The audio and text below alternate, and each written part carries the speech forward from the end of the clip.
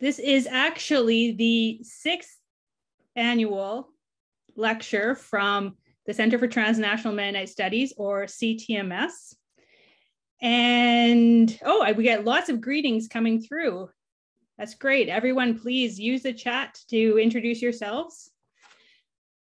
I should introduce myself. My name is Aileen Friesen. I am, along with Dr. Ben Nobbs Thiessen, uh, the director of the Center for Transnational Mennonite Studies at the University of Winnipeg. Our center is located on Treaty 1, the ancestral and, and traditional territories of the Anishinaabe, the Anishinaabe, the Assiniboine, Cree, Dakota, Dene, and the heartland of the Métis Nation. For those of you interested in learning more about in the history of Indigenous Mennonite encounters, our friends at Conrad Grebel College are having a conference next week, so be sure to tune into that. But this evening, we are, um, like I said before, having the sixth annual lecture, uh, CTMS lecture. And so I just like to take a moment to introduce CTMS. CTMS is a research center that approaches the history and culture of Mennonites within a transnational, Mennonite, a transnational context. It is a partnership between the Chair in Mennonite Studies and the DF Plett Historical Research Foundation. And this evening, I'm pleased to introduce Dr. Melanie Kampen, our center's DF Plett Historical Research Foundation postdoctoral fellow. Uh, Dr. Kampen is a graduate of the Tor Toronto School of Theology, and she has published um, and researched on issues of trauma and reconciliation, including her dissertation entitled The Specter of Reconciliation, Investigations in Mennonite Theology, Martyrdom, and Trauma, and a chapter, she's published a chapter entitled On the, the Need for Critical, Contextual, and Trauma Informed Methods in Mennonite Theology and Ethics in the book Recovering from the Anabaptist Vision. And she's also published an article entitled The Mennonite Peacemaker Myth Reconciliation Without Truth Telling in the journal The Conrad Grebel Review. Tonight, she will be sharing new research conducted during her postdoctoral fellowship on an important topic which has not received the academic attention that it deserves. Her presentation is entitled Reporting on Sexual Violence in Mennonite Newspapers. And as Dr. Kampen presents, please post any questions that you have in the Q&A section, uh, not in the chat. Uh, we'll be able to find them better in the Q&A. And so Dr. Kampen, please uh, take over this, or please give us your presentation.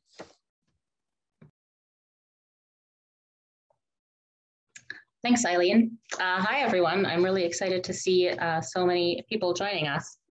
Um, first of all, I want to thank the Plett Foundation for funding this research project and Aileen for supervising it. I want to thank Conrad Stoesz and Selena Wolf at the Mennonite Heritage Archives for helping me find uh, data I also wouldn't have been able to accomplish this work without the advice of Carol Penner, Tina Fehr Kehler, and Jamie Friesen, who served as my research accountability circle.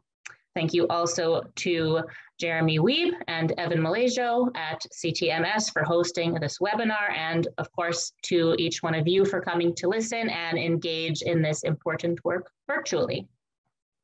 So when I set out to begin my postdoc research a year ago, the project proposal looked a little bit different uh, than what I ended up with. Due to ethical and safety concerns related to interviewing victim survivors of sexual violence directly, I turned my attention to the archives instead. Initially, as per, per the uh, Plett Foundation's mandate, I was going to focus on how sexual violence was reported on for Mennonites who were descendants of the 1870s migration to Canada.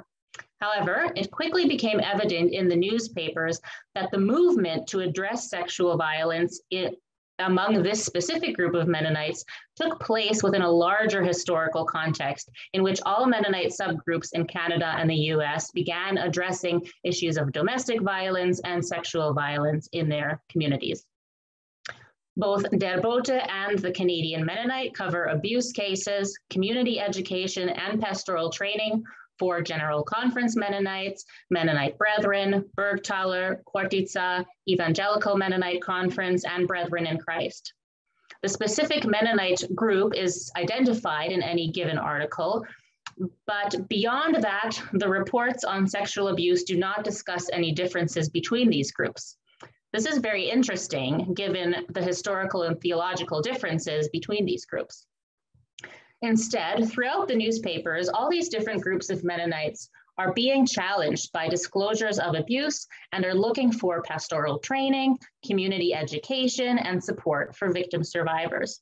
A common thread throughout the newspapers is the central role of Mennonite Central Committee in organizing education, training, and support across all these different Mennonite groups and even binationally.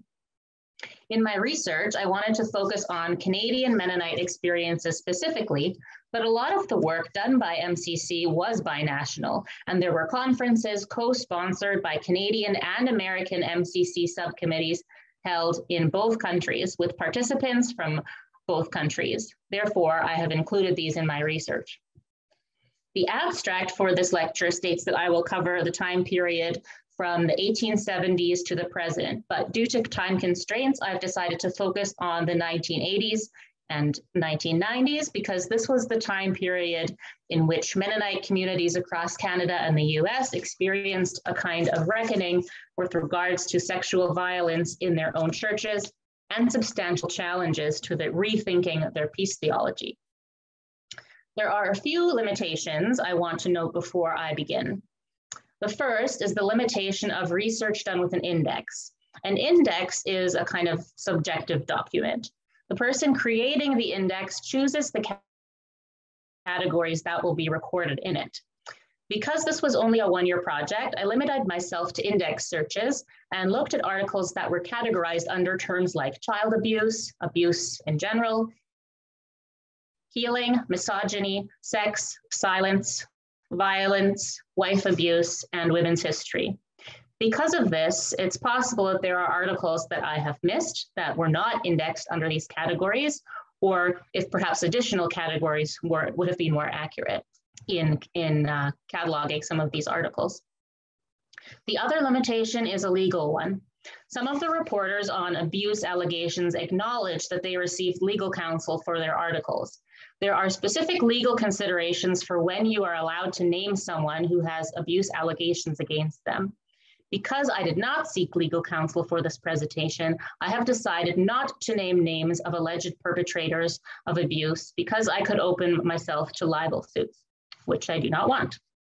In future publication of my work, I intend to seek legal counsel because I do think it is important to name charged abusers to ensure the ongoing safety of community members and to promote collective accountability for sexual violence. I also just want to take a moment to acknowledge that some of what you will hear tonight might cause strong emotions, emotions of sadness, maybe anger, despair, hopelessness, all of these emotions are valid responses to the realities of sexual violence, and the church has often failed responses to them.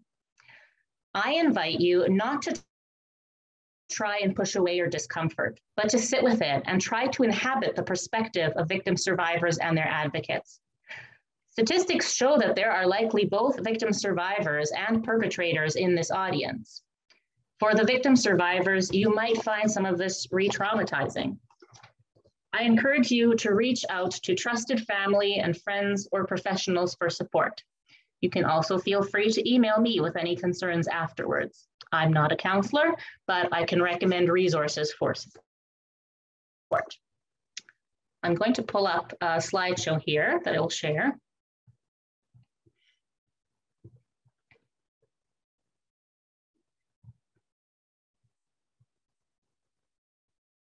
So I want to begin by outlining some of the most common attitudes that I found in newspapers towards women, sexual abuse, and victim survivors to give you a sense of the community climate at the time. The first common perspective that I found was a disbelief, denial, or minimization of abuse. Some church leaders and community members wondered if, quote, the problem is as serious as media reports lead them to believe, end quote. Others remarked that, quote, the tendency to trivialize the disclosures to wonder if the girls are sensationalizing an experience to gain attention, end quote. The disbelief of abuse had dire effects on victim survivors. who reported feeling alone, isolated, and betrayed. Lois Edmond taught conference participants the importance of believing disclosures. She explained that, quote, the seriousness of the victimization should not be assessed by the extent of abuse, but by the fear it has left behind, end quote. Similarly, another common experience of victim survivors was feeling betrayed by the church. For devout Mennonites, faith is not simply an add on to otherwise secular life. Rather, church is the hub around which community life forms, especially in rural settings. Because church members are viewed as extended family in Christ and many times literal family members, it is devastating betrayal when church leaders and other members do not believe or minimize abuse disclosures. One woman reported dedicating her entire life to the church, she had spent years volunteering, and when she disclosed her abuse, she says, quote, the men did not believe me. In their rational thinking, they thought I must have asked for it. They overrode the voices of the women who wanted to support me, end quote. She grieved the loss of this relationship. Pastors were neither comfortable nor equipped to deal with abuse disclosures. In a study that Mennonite pastor Isaac Block conducted with the support of MCC Canada, he, quote, found that only 15% of the pastors would tell a victim of physical violence to leave a spouse immediately, while 83% would tell the victim to stay at home but seek professional counseling, end quote. Other women experienced a minimization of their abuse and were counseled by pastors to forgive and forget or go home and be a better wife. One coordinator for a committee on family violence testified to the high incidence of incest and wife abuse in southern Manitoba, and attitudes common to some that, quote, fathers have a right to break in their daughters, end quote.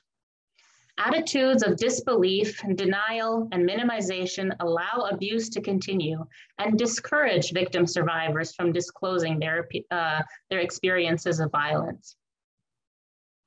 Another common attitude um, towards abuse was a conflated view of victims and, and offenders. Some church leaders and community members expressed difficulty understanding the substantive differences between victims and offenders. One workshop's leader's assessment of abusive marriages was that, quote, we're dealing with two people who have a lot of the same problems insecurity, low self esteem, inability to be clear about what they want, and how to talk to each other about feelings. When you put them together in extreme situations, it is more likely that abuse will be part of the relationship. End quote. You can see an attempt here to understand the psychological profiles that harmful gender norms cause in a heterosexual marriage relationship, but this perspective still minimizes the accountability of the person who chose to violate another person and the depth of pain and trauma experienced by the victim survivor.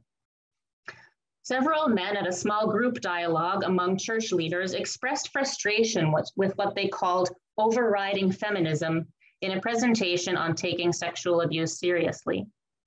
One participant stated, quote, it isn't a matter of good guys versus bad guys. Victims are the same as offenders. Must we take sides? If so, shouldn't we be taking sides for justice instead of taking sides against the offender? End quote. The difference, of course, is substantive.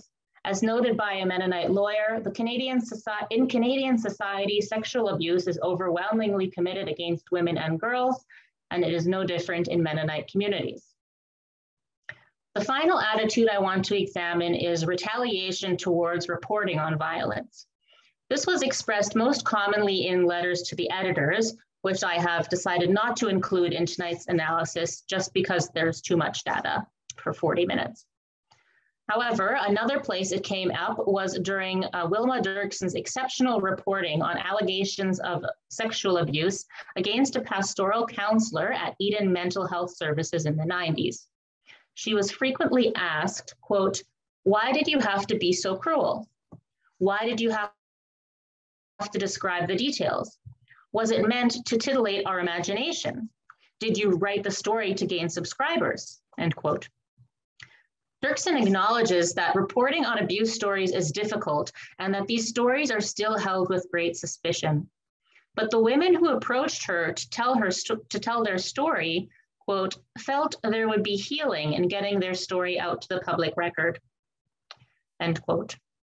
She also notes that it is necessary to report the details so that allegations could be clearly understood and to allow the reader to know that the people making allegations were describing what they considered an intentional sexual overture by a professional counselor, and not just an accidental brush that could have been misinterpreted, as some people were suggesting.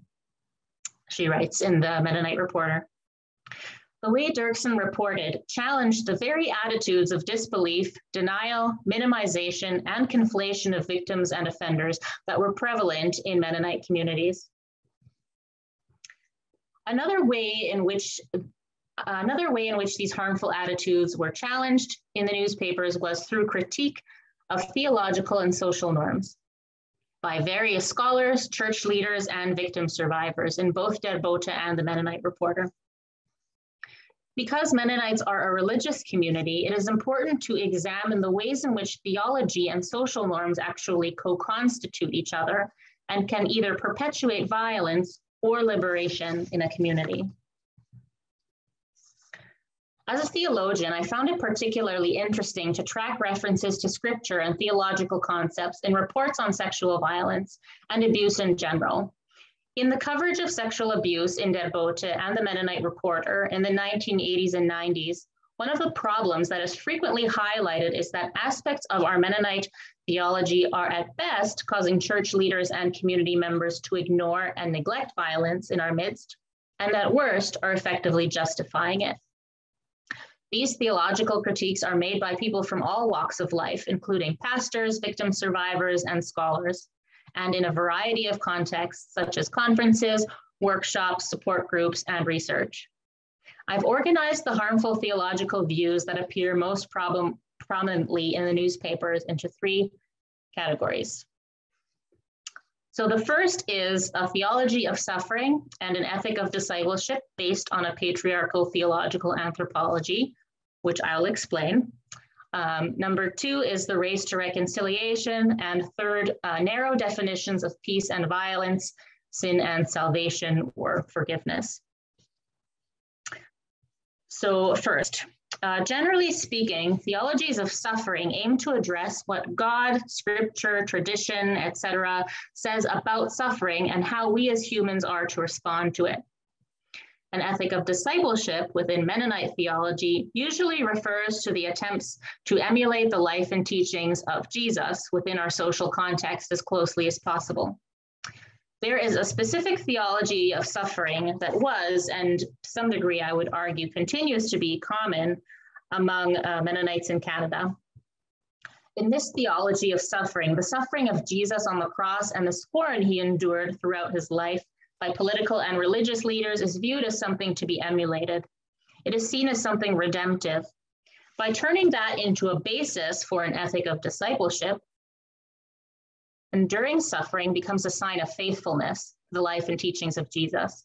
The problem with this is, as abuse victims, social workers, and scholars point out in articles in Der Bote and the Mennonite Reporter, this provides a theological justification for the suffering of victim survivors of abuse. At a Mennonite conference in Canada, Carolyn Holderread Heggen, psychotherapist from New, Mexico, New Mexico, clarified that, quote, there is a theology of suffering in the New Testament. Jesus on the cross is not a model for us to glorify pain and abuse, end quote.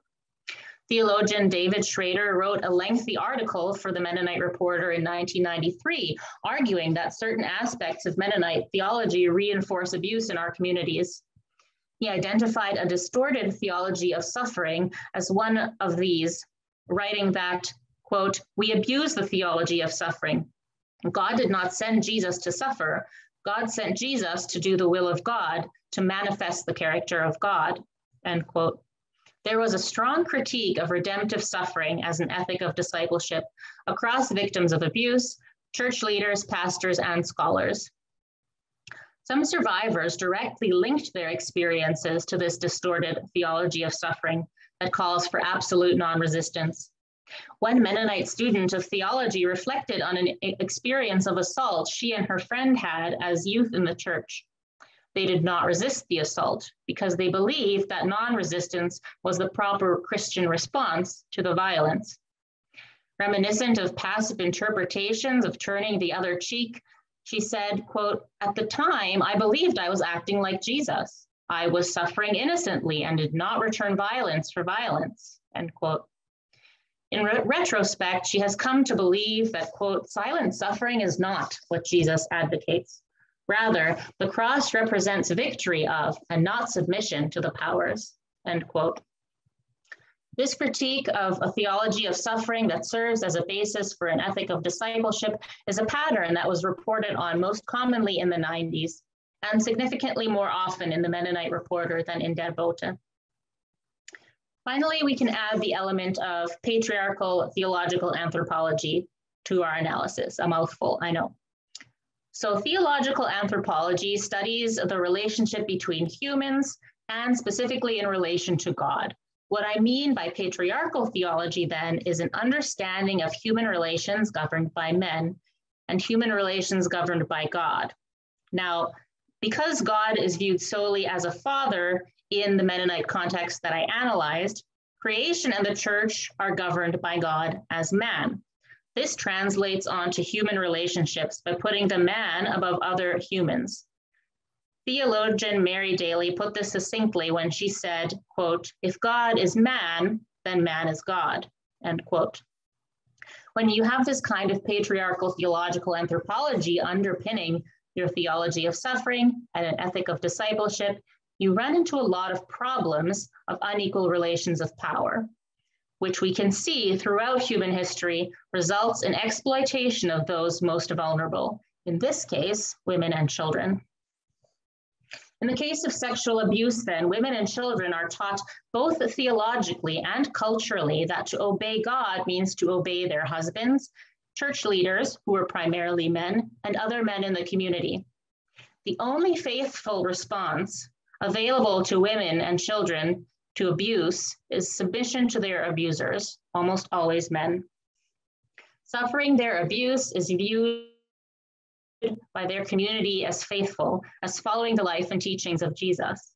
There was significant critique of this theological hierarchy, placing men above women in the Mennonite Reporter, and one comment in Der Bote. In a 1992 article in Der Bote, a Mennonite man seems to agree that women should submit themselves to their husbands, calling this as per Christ's teachings. But he also remarks that, quote, it is not understandable why men do not also consider Christ's teachings of peace, to live in mutual relation with their wives and to honor women, as per 1 Peter 3, verse 7, end quote. Um, that's my translation. All of the quotes from Der Bote are my own translations. He says that instead of blaming scripture for leaving room for abuse, we should take a long, hard look and ask ourselves if we aren't simply misinterpreting scripture. Other writers in the Mennonite Reporter suggested that women's submission to their husbands was itself misinterpreted, not simply that men weren't fulfilling their role in the relationship. One man reflected on his participation at a conference on sexual abuse, confirming that, quote, as a man, I have been taught to dominate, control, and manipulate in order to be competitive, end quote. A woman at the same conference agreed, saying, quote, women buy into this because of our theology of submission and service to the other without counting the cost, end quote. Isaac Block points readers back to Christ on the cross, observing that, quote, Jesus voluntarily placed himself in a situation involving suffering victims of domestic abuse do not, end quote. These critiques of a theology of suffering that is the basis for an ethic of discipleship, along with a patriarchal theological anthropology, demonstrate a substantive change to dominate dominant Mennonite theology in the 80s and 90s. This is not to say that all Mennonites were radically changing their theology and ethics to support victim survivors of abuse, on the contrary, many letters to the editors complain about the advocates for theological change. However, it is worth noting that this critique of theology is coming from both women and men across the community of pastors, victim survivors, and scholars, and it is an attempt to make the theology better rather than discard it altogether. This shows a strong commitment to the faith community and its ability to transform into a church that offers support and healing for victims of abuse, not simply in its responses to abuse allegations, but in its very theological understanding of who Christians are to be in the world. The second critique uh, um, race to reconciliation. My phrase race to reconciliation is a riff on the phrase uh, the race to innocence used in various critical social theories and decolonization. The race to innocence is usually used to describe a variety of ways in which white settlers attempt to deny their responsibility for complicity in colonial violence and other forms of structural violence. A common example is the desire for white settlers to claim Indigenous ancestry and thereby absolve themselves of any violence associated with their identity as a white settler. This move to innocence is just one example of various ways in which white settlers attempt to avoid the discomfort of accountability for complicity in colonial violence. It is also evident specifically in the white settler communities in Canada when you look at the number of efforts for reconciliation and healing in response to the Truth and Reconciliation Commission versus the amount of work done on truth telling, which is very little. The truth part of the truth and reconciliation makes us uncomfortable. We would rather pursue the reconciliation part. We are prone to the race to reconciliation. The same is true for cases of sexual violence. Nearly 100% of the articles dealing with sexual violence in Der Bote and the Mennonite Reporter in the 80s and 90s also mention the need for or hope for reconciliation, redemption, or healing. Even when the caveat is included that reconciliation and healing are difficult and perhaps even impossible, it is always emphasized as a goal when discussing sexual violence. In a 1991 report on allegations of abuse against a pastoral counselor at Eden Mental Health Center, the victim survivor filed a lawsuit after she felt her complaints were not heard, which was a common complaint of victim survivors in the newspapers. A representative of Eden Mental Health Center called this an adversarial move. He is quoted in the Mennonite Reporter as saying, quote, we don't see an adversarial stance as being helpful at all. Our preference is for healing and reconciliation, end quote. In a number of cases, leaders of Mennonite churches and organizations felt strongly that sexual violence in their communities was not an issue for the state to deal with, but something that should be addressed internally, which often failed to happen. In other articles, authors recognized the difficulty of reconciliation and acknowledged that it was not appropriate in some cases. Mennonite reporters amplified communi- community voices that were calling for church leaders to privilege the safety of women and children and uh, separation of the family over further violence and keeping the family together. In 1986, MCC Canada published a statement in support of women and children who were being abused, recognizing that, quote, sometimes for the sake of women and children who are being, sometimes for the sake of women and children, reconciliation is not advisable. MCC Canada struggles with this problem, realizing that although violence and possible death is a greater evil than separation, both are sin, end quote.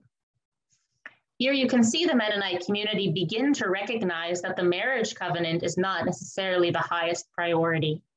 Some advocates argued that in abuse cases, the marriage covenant is already broken, and the separation of husband and wife is merely a public confirmation of that. The sin, therefore, lies primarily in the abuse. The abuser is the one who broke the marriage covenant first. Separation is then simply an ethical response in order to prevent further violence. A presentation by Marie Fortune stuck out as one of the only incidences, instances of addressing sexual abuse without calling for reconciliation, redemption, forgiveness, healing, etc. Indeed, her work is often referenced by Mennonite speakers at conferences and workshops and as recommended resource materials in the Mennonite Reporter. It appears she was a substantial influence on Mennonite advocacy for theological and social transformation around sexual violence in the 90s. Fortune's work drew on atypical scripture passages to think theologically about sexual violence in Christian communities. In a Sunday sermon, she acknowledges that, quote, we long for a vision of a new creation. She says, I want to honor that, but not prescribe or describe it. Instead of preaching about reconciliation of terror in the Bible, the Judges 19 story of rape and dismemberment of a Levite's concubine, ringing pronouncements from Jeremiah Is there no balm in Gilead? And from Ezekiel Get yourselves a new heart and a new spirit, turn and live. These punctuate Fortune's memorial to victims of abuse. End quote. Fortune acknowledges our desire for a new creation, for reconciliation and healing, but she is willing to face the full weight of the pain of sexual violence for victim survivors. There is no race to reconciliation here, just sitting with the truth, drawing on scripture to lament the pain and violence as a community. Finally, I turn to the narrow definitions of peace and violence, and in turn, sin and salvation that is critiqued by articles in the newspapers.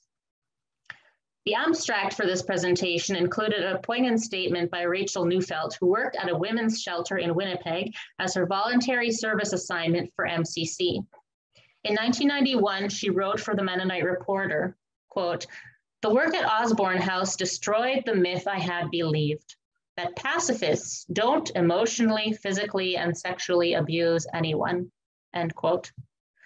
Other authors echoed this realization that a narrow understanding of peace and violence had caused Mennonites to neglect certain forms of violence, like physical, sexual, emotional, psychological, and spiritual abuse.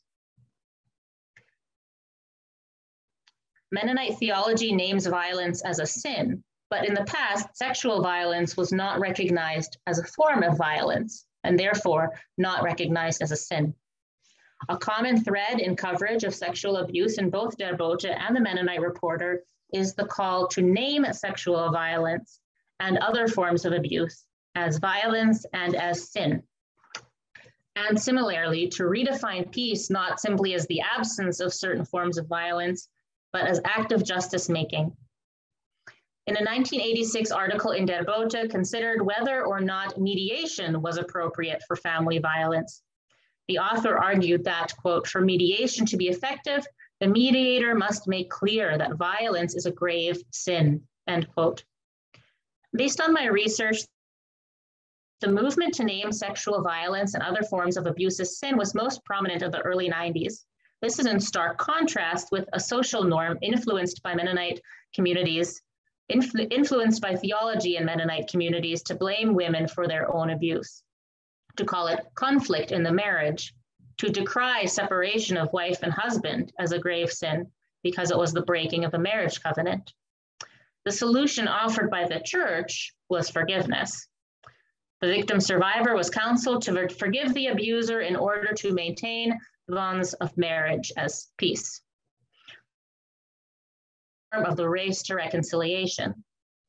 However, authors in both newspapers rightly pointed out that in cases of abuse, the marriage covenant was already broken by the abuser. There is a push to identify abuse as the primary sin and not separation. New Testament scholar Mary Schertz argued that, quote, marriages that abuse the sanctity of a person within them are not marriages within the biblical guidelines. She criticized the readiness of some pastors to sacrifice the sanctity of an individual for the good of the community, and that this needs to be re examined. It is not a way of taking marriages less seriously, but more seriously, holding them to a highest kind of biblical standard. End quote.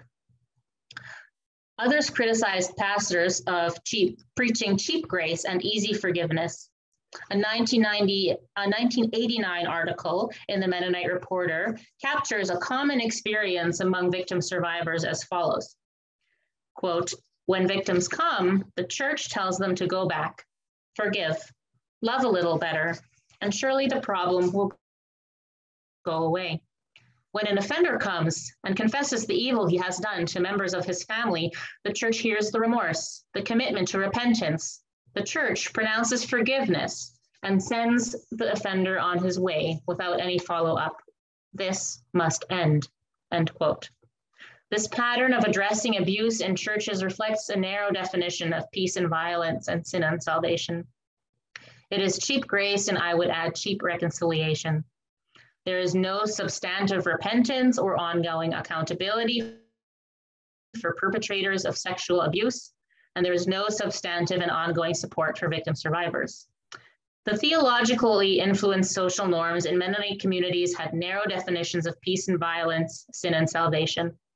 The definitions of violence and sin did not include sexual violence, and the solution counseled for conflict in marriage, code for abuse, was forgiveness, an attempt to restore the previous superficial peace.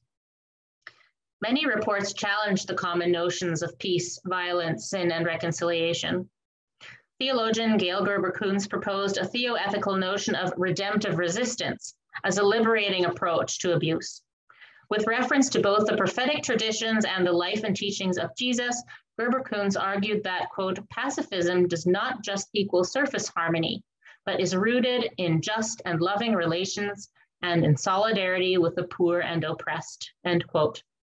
In this case, the oppressed are the victim survivors who not only experience the pain and violation of abuse, but experience it again and again when they are neglected, ignored, and denied by their communities of faith. That brings us to a singular consideration that has kept Mennonites from seeing the harms of the dominant theological and social norms that I have discussed.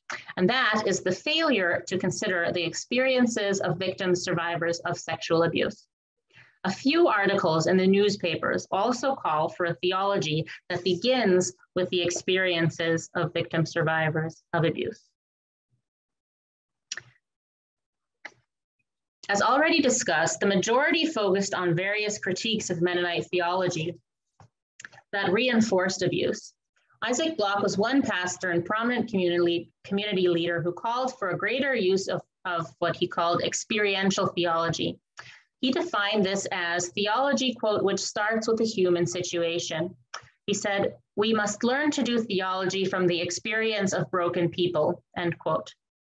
The Mennonite Reporter recorded the attitudes of participants at a conference in 1991 who, quote, called Mennonite peace theology to account for its past silence on the issues and showed ways women must be a part of correcting an errant peace theology, end quote.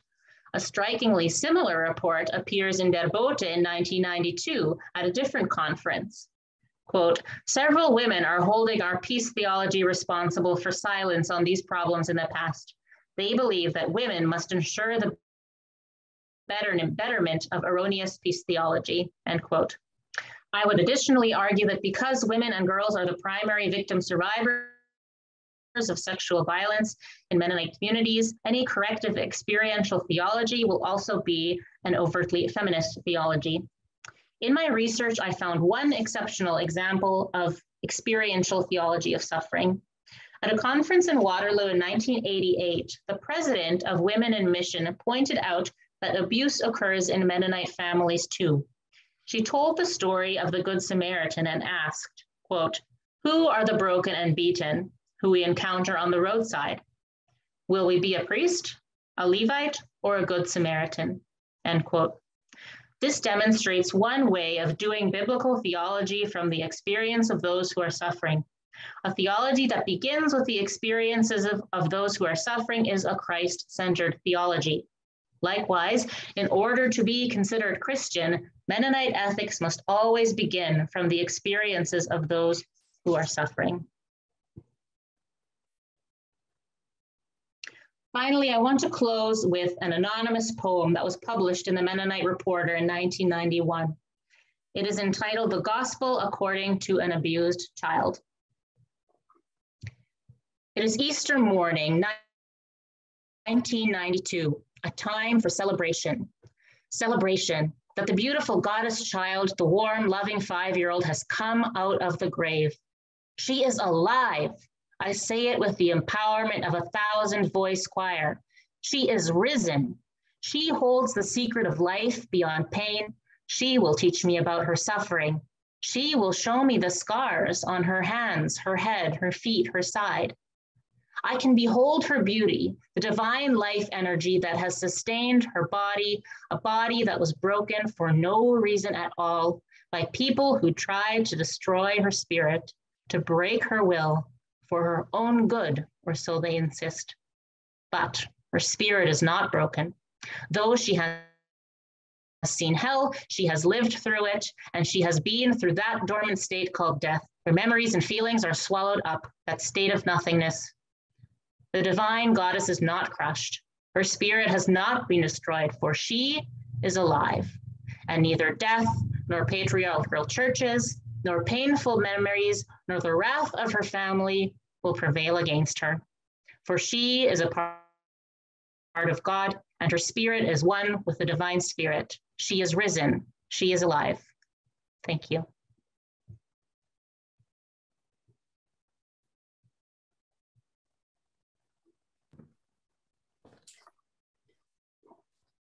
Thank you, Melanie, for that uh, detailed and empathetic research on this very difficult topic. Uh, I think I can speak for the entire audience that we very much appreciated the insight uh, that you brought to this, this issue. For the remaining portion of this webinar, I'd like to open it up for questions. So anyone in the audience who has a question, please type it up in the Q&A section under the Q&A button. And uh, Melanie would be happy to respond to um, your comments and your, your questions that you might have uh, based on her presentation. And I'll just maybe start off with a question of my own. Um, what were you, during your presentation, you made some comments about the differences between the Mennonite Reporter and Der Bote. Obviously, this also represents generational differences within the Mennonite community. One is in English, one is in German. Uh, can you comment a little bit further about those differences and how they're approaching this issue of sexual violence?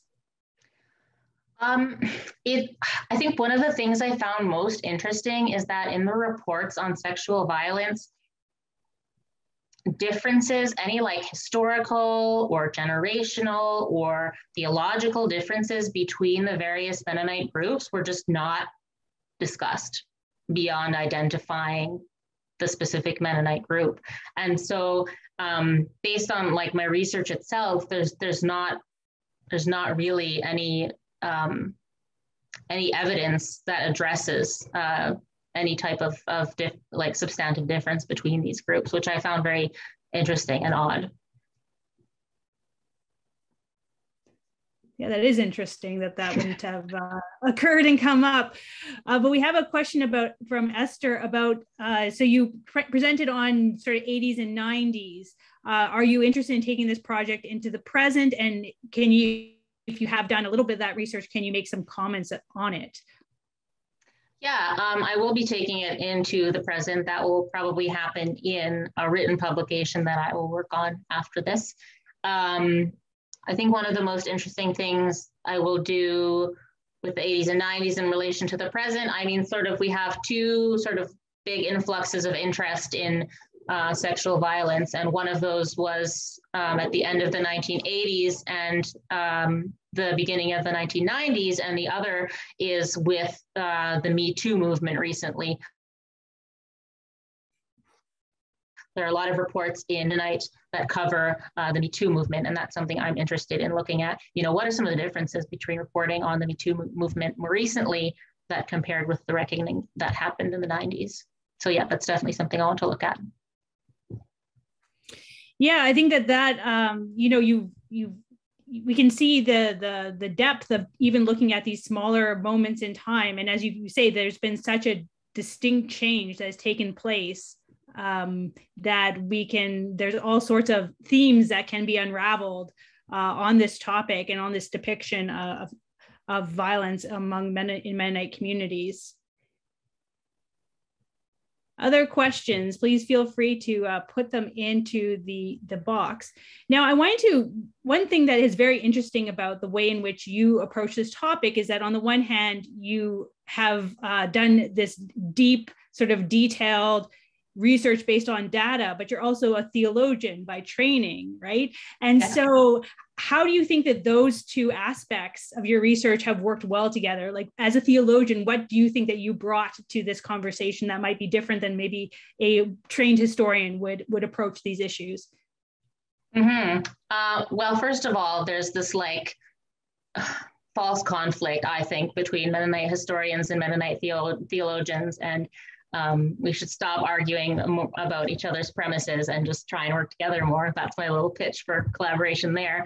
But I think that um, my training as a theologian, it gives me a unique perspective because I, and also having been raised in the Mennonite church in, in Manitoba, I have this really embodied deep sense of how social norms, cultural norms, and theological commitments and norms act like co-constitute each other in everyday life. Um, and I think that's a really important piece of the analysis to realize that um, unlike uh, some other religious groups and other Christians, um, it really, the emphasis on uh, an embodied faith has a very particular articulation in Mennonite theology that is not seen in other um, Christian denominations. Uh, and I think that can be both lead to a positive thing, like you know humanitarian work and and, and peace and justice work, but um, it can also then reinforce um, violent habits. If, if, you know you haven't thought of certain uh, certain forms of violence haven't been recognized as violence and therefore have not been named as sin, for example, and things that maybe are named as sin shouldn't be thought of as sin. Um, for example, the debate around like, you know, is divorce or separation worse than uh, having abuse continue in a marriage? Uh, that was a big um, turning point.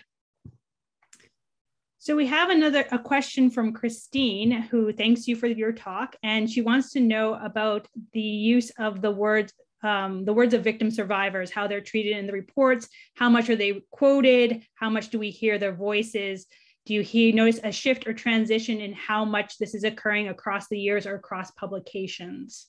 Mm-hmm. Good question. Um, first of all, I'll just briefly say I should have said this in my presentation, but I take the word victim survivors from uh, womanist theologian, uh, Christian ethicist Traci West. Um, so that's where I get that phrase from. Um, how much are they quoted? How much do we hear their voices? Um, not as much as we would like to. Uh, the contexts in which their voices occur are in a lot of reporting done by Wilma Derksen. Uh, she is specifically interviewing victim survivors who have come forward. Um, this is highlighted especially in the case of abuse allegations at Eden Mental Health Center. Um, and in other cases where there are specific abuse allegations against somebody in a community, um, the, the voices of victim survivors uh, are quoted. Um, they are also occasionally quoted and identified as victim survivors uh, if they are speaking at conferences, uh, a lot of workshops and conferences that were organized by Voices for Nonviolence, for example, across Canada, um, would list they, that they had scholars, church leaders, as well as victim survivors sharing stories so that we know is something that did happen. Um, victim survivor stories were, I think, almost always included as a part of a workshop or a conference. Okay, thank you for that response. Yeah, because that's a fascinating issue about who gets to be heard within these conversations and who yeah. is elevated and whose is diminished well and especially because you know in, in in any kind of advocacy sometimes you have it, it's a difference of you know you're advocating for a specific group of people but in the case of sexual violence victim survivors often want to remain anonymous so they're not re-victimized um, by the community by community stigma potentially um, you know physically harmed by someone knowing that they've come out with this abuse. And so you have this level of anonymity that can harm your self advocacy in, in a way yeah, no, that's a very, very important point.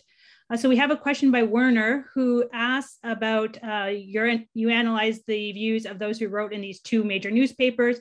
They often would have been Mennonite leaders or people with some sort of interest or link, scholarly interests or link to the community. And do you think what you found reflects the views of Mennonite rank and file, the majority of Mennonites? So how much is this just an isolated group discussing amongst themselves?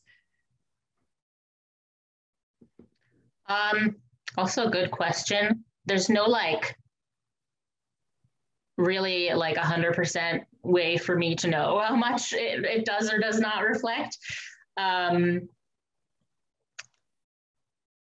I think one of the things I'll say about that is one one thing that I found really positive was that it wasn't just reports by a small group of church leaders or only scholars or you, you know like it was a variety of people kind of commenting on similar things. And um, you could see patterns of certain reporters uh, like wilma derksen for example was a common reporter on the issue. Um, but there were also a variety of people who were involved um, and would report on various conferences and pe- uh, report on conferences and workshops um, that involved lots of different churches in a given geographical location. Um, so I don't know what that means in terms of how much it was a, a, conversation centered on, on a smaller group of people. I don't know exactly how far the reach is of, of something like Der Bote and the Mennonite Reporter. Um, yeah, we can't really know uh, 100%, but I can say that there was a variety of interest uh, in pushing for advocacy and support and education and pastoral training. I mean, maybe one way to get at this a little bit would be sort of the letters to the editor. And I know that you don't want to, that's a big topic, but are there any sort of maybe general comments you can make about what you can, what you found in those that might help us understand like the general public responding to some of these issues?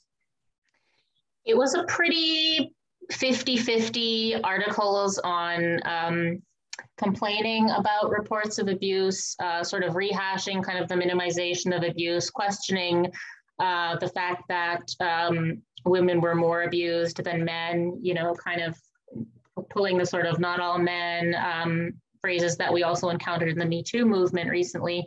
Um, but then also uh, a lot of people writing even more sort of a progressive or or pushing the envelope even further, saying, you know, the reports uh, are not even enough. We need to critique this even further. We need to be um,